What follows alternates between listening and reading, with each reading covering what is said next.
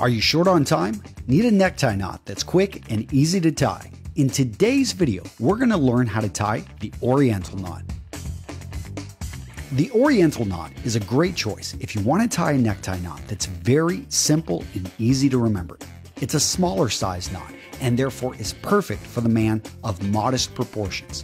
The main characteristics of the Oriental are it's a small size knot, so it's very easy to tie. Two, it will work well for both business and social events. Three, this knot works best with smaller proportioned collars, and if you're going to go for a particular collar style, a point collar is recommended. Start tying the oriental knot by draping the tie over your neck. For this knot, you will have the outside of the tie facing towards you. Adjust the tie until the wide end is longer than the narrow end. The exact length will vary based upon the length of the necktie and the height of the wearer.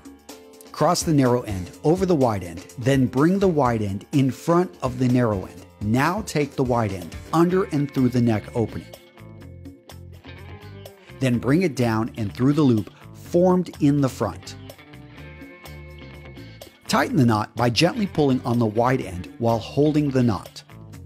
Bring the knot up to your neck by holding the narrow end while pushing the knot up with your other hand.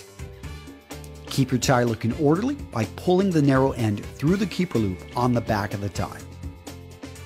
Your necktie should rest between the top and middle of your belt line. If it's too short, start over, making the wide end lower. If it's too long, start with the wide end higher. The Oriental knot is incredibly easy to tie and a perfect alternative to the four-in-hand. It's a great choice for the man who likes a little bit smaller of a necktie knot that's easy to tie and balances perfectly with a point collar.